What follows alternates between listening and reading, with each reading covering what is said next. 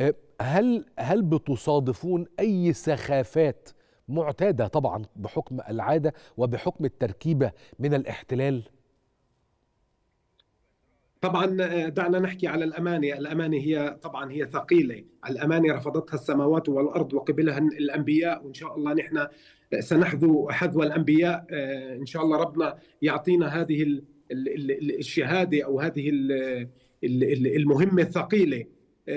طبعا نحن نعاني منذ من منذ الاحتلال منذ منذ منذ 48 وال 67 وحتى تاريخ اليوم. نحن نعاني عن الاحتلال. الاحتلال يضايقنا جدا. الاحتلال دائما يبث الفتن. بيننا وبين إخوتنا المسيحيين لكن يعني في نهاية المطاف نحن نقول نتمنى للعالم بأن تكون العلاقة بين المسلم والمسيحي كما هي العلاقة بين المسلم والمسيحي في القدس.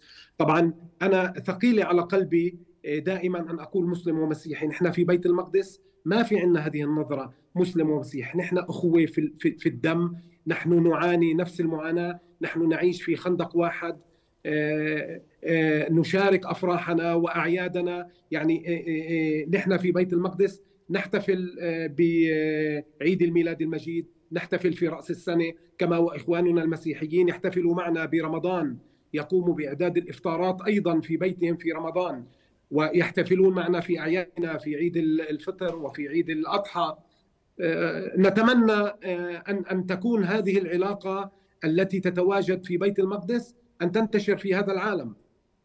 نتمنى ذلك نتمنى ذلك. أتمنى ليكم عام قد يجلب سعادة ما.